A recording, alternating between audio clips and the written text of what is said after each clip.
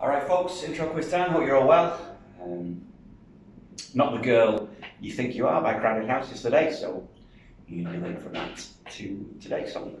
And for your John points, the usual. Which album is this taken from? It was said to be written about the artist's uh, marriage breakup to whom? Uh, or with who? Anyway, who was he married to at the time he wrote it?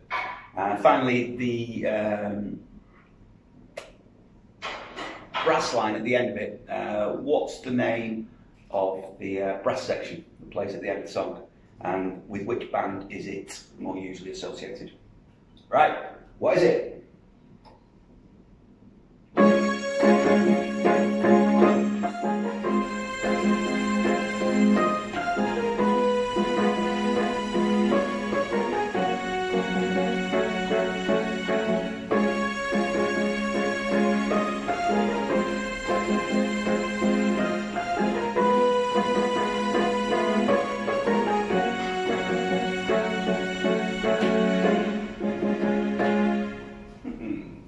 Good luck and see you tomorrow.